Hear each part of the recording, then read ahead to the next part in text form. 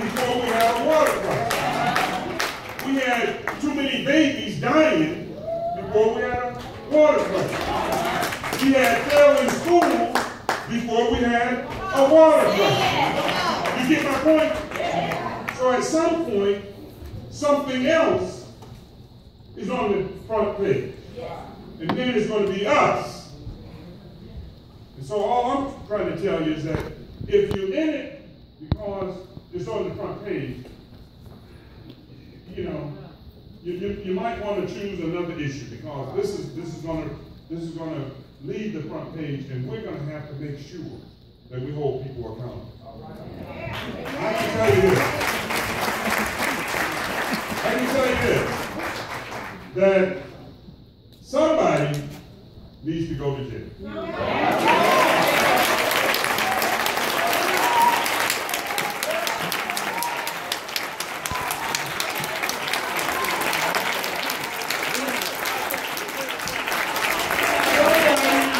needs to go to jail.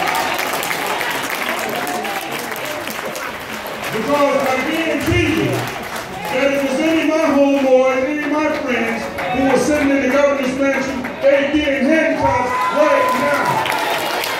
Somebody needs to go to jail.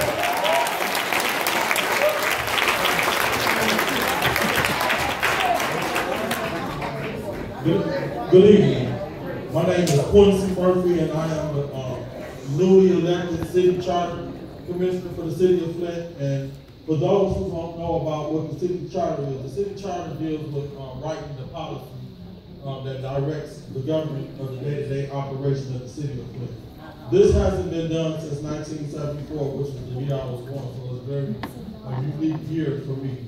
Um, but before I um, say what I want to say, I want um, you all to uh, know and understand how we got here and who made, who paved the way to let us be where we are today. So all the water, water warriors, the Democracy League that's um, been fighting for this, could y'all please stand so y'all can see who are they are?